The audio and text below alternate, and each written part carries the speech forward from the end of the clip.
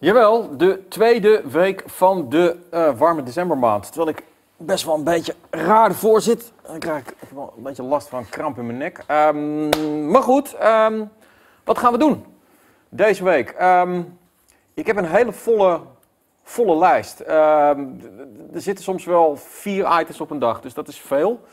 Dat heeft er alles mee te maken dat uh, we een aantal dingen um, natuurlijk moeten doen. Naast dat wij natuurlijk uh, die premium items, elke dag een extra premium item. Maar, ik neem aan dat jullie het weten, ook Super Smash is uitgekomen. En uh, we zijn dit weekend druk mee aan de slag geweest. We hebben hier onderling gespeeld. Dat betekent dus dat je de review en de in-depth discussie over Super Smash kan gaan verwachten deze week. Um, Emiel is de man. Kevin kon helaas niet.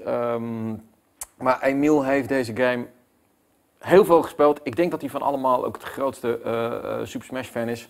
Samen met Carl zal hij in ieder geval de review doen. Um, we gaan uh, een um, ja, let's play, maar Hearthstone. Er is weer een grote update geweest. Tijd om ook weer eens naar die game te kijken. Dat doen we samen met, ook met Emiel, echt een groot Hearthstone-fan. En Joen, die dat ook heel vaak speelt. een van onze stagiaires. Um, we hebben ook nog Ashen binnen. Uh, die ben ik aan het spelen en Skate die aan het spelen. Dat zijn allemaal van die last minute dingen die erbij komen. Dus die gaan we ook doen.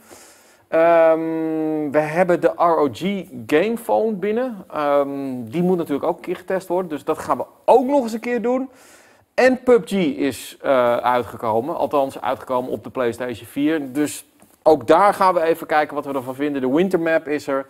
Lijkt me ook dat we daar iets mee te doen, moeten doen. En wat natuurlijk uh, ook nog eens uitgekomen is de PlayStation Retro. Moeten we ook nog doen.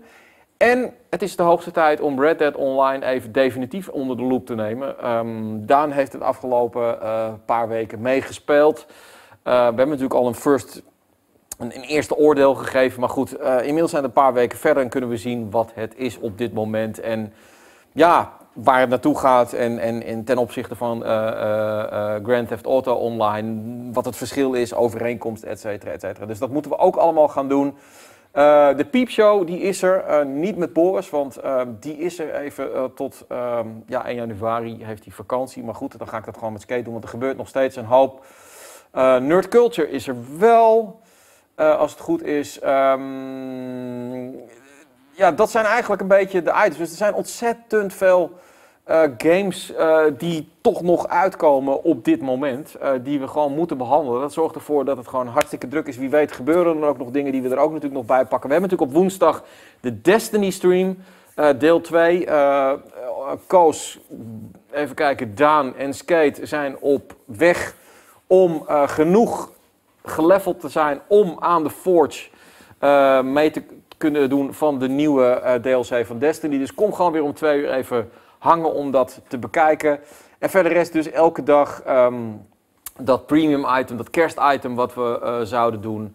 Um, ja, goed, wat, wat hebben we deze week? Beste publisher van het jaar gaan Boris en ik. We gaan uh, publisher cijfers geven. Dat is best wel pittig geworden. we gaan een item maken over entitlement, wat de laatste tijd heel erg leeft natuurlijk. wat daar invloeden van zijn. We hebben de E3 Director's Cut. We hebben de eerste mini-documentaire over Tekken. Kortom, het wordt weer een hele volle gezellige, toffe week met veel premium en uh, veel losse items. En volgende week, dan beginnen we dus, als het goed is, met de eindejaars interviews. Ik denk eind van, de, eind van volgende week. Dan trapt Skate af traditioneel met zijn eindejaars uh, reviews, inclusief de top 10 van ons. Dus um, ja, december is nog lang niet ten einde. Er staat nog veel goeds in petto.